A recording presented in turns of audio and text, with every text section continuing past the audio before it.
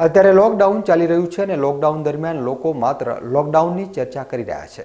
ત્યારે લોકડાઉન વચ્ચે વાતાવરણ પણ હવે ગરમ થવા માંડ્યું છે અને તાપમાનનો પારો ચાલીસ ડિગ્રીની ઉપર જવા લાગ્યો છે.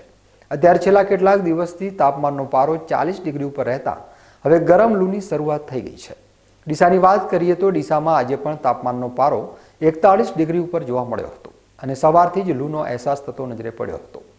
હવામાન વિભાગના જણાવ્યા અનુસાર આગામી બે દિવસ સુધી આ હીટવેવ કન્ડિશન ચાલુ રહેશે અને તાપમાનમાં હજુ પણ વધારો થવાની શક્યતાઓ જોવા મળી રહી છે.